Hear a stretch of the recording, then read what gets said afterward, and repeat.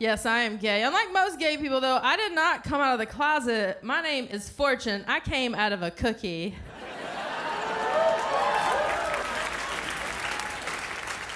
I was a late bloomer, though. I didn't come out until I was 25.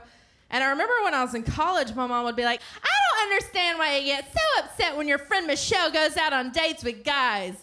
And I was like, because she's my best friend. Ugh. You don't get it.